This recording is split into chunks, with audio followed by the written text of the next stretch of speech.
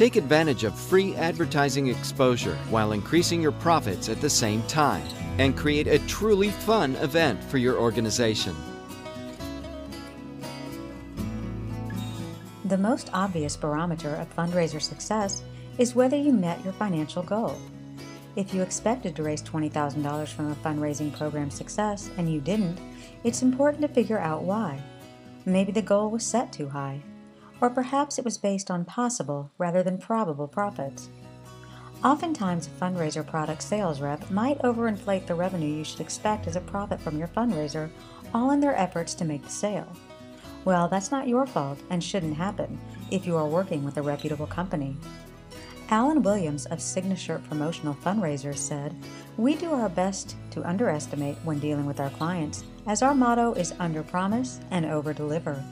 We aren't in business for just one fundraiser program, but many repeat fundraising opportunities. A sales rep may claim that you can make $50,000 on their product and you end up setting that as your goal, but maybe that's not realistic.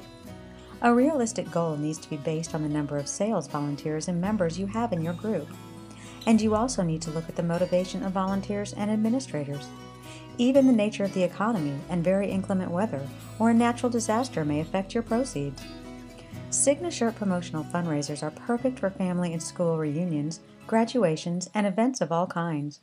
For additional information on how SIGnaShirt promotional fundraisers can benefit your organization, simply click the video link below and learn why they are rated in the top 18% for innovation and marketability. Or you can also view the SIGnaShirt Promotional Fundraiser program in action at fundraiser.deco-craft.com. Learn of all of the advantages that's in store for you at fundraiser.deco-craft.com.